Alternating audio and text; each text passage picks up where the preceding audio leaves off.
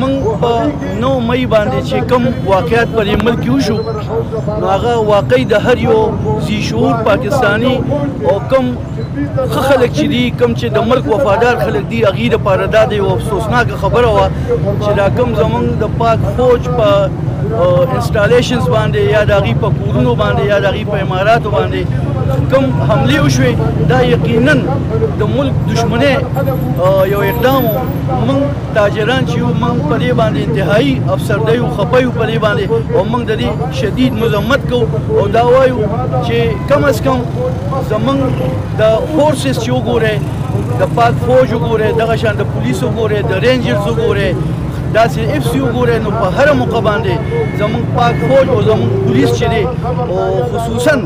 زموږ د کې پی پولیس چې دا په فرنټ لاین باندې مطلب دا دی د دهشتګردۍ خلاف جنګېدلي دي خپل قربانۍ ورکړي خپل بچي خوار کړي دي خپل میندې خوارې کړي دي خپل ښځې کونډې کړي دي نو دا غي قربانو ته کم از کم خراج تحسین چې نشو پیش کولې سلام ورته نشو کولې او دا غي ستاینه نشو کولې او د هغې خلاف مطلب یې قدم اخیستل وایم چې دا یو قومي جرم دی او کم په نو تاریخ چې کوم افسوسناک واقعیات شوي دي موږ د هغې شدید مذمت کوو او خپل فورسز سره او خپل پولیس سره موږ د کلک یکجهتۍ اظهار کوو انشاءالله موږ به په هره موقع د هغې شانه به شانه ولاړ یو زما په خیال ښه خبره دا ده چې مطلب دا دغه خلک چې کوم دې کې انټینشنلي ملوث وو او هغوی قصدا دا کار کړی دی هغوی له مثالي او قرار واقع سزاګانې ورکول پکار دي هغه چې په هره طریقه وي که په سیویلین لا وي او که په آرمي اکټ باندې وي خو دغه خلکو له داسې سزا ورکول پکار دي چې آینده دي د فوج د پولیس د رینجر انسټالیشن ته اوچت نظرونه وګوري دا تاجران چې دا غریبانان خلک دي دا چې راوتي دي دوی نه د کرسۍ لپاره راوتي او نه د نور څه لپاره راغلي خو دوی په دې باندې افسوس کوي چې آیا کوم زموږ فوج دی چې تنخوا اخلي او هغې سره وینه هم ورکوي دا تنخوا خو د هر چا حق دی هغه به اخلي چې نوکري کوي خو دوی ورسره خپل سر خپل قرباني زموږ ولس زموږ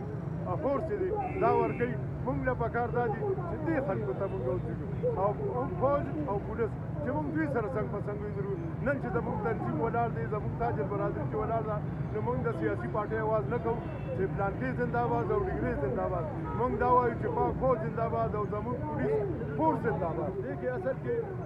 زمونږ د ملک کم خلک وو دې کې داسې خلک وو چې هغه په پیسو باندې راوستي لکه چې اوس موږ د هغوی انټرویوګان یو نو هغوی دی په پیسو باندې راوستي او هغوی ته وی چې تاسو دا رواني وکړئ دې کې داسې شرپسند خلک وو دې کې واړه خلک نه وو